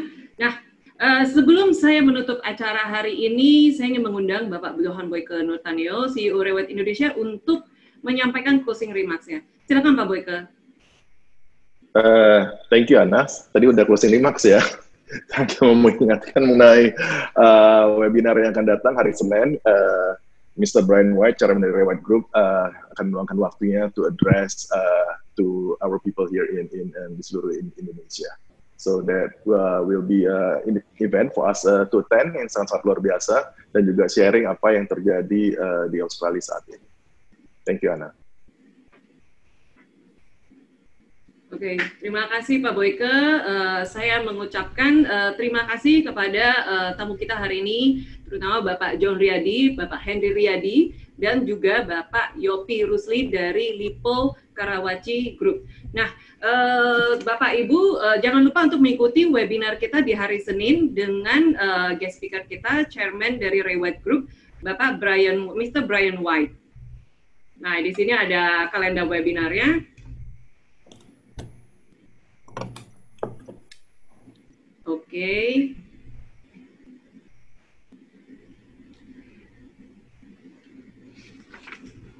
Business is like riding a bicycle. Either you keep moving or you fall down. Saya Ana Miatinen, saya mengucapkan, saya mohon pamit, mengucapkan terima kasih pada Bapak Ibu yang telah mengikuti webinar hari ini. Nah, salam sejahtera, stay safe, stay healthy.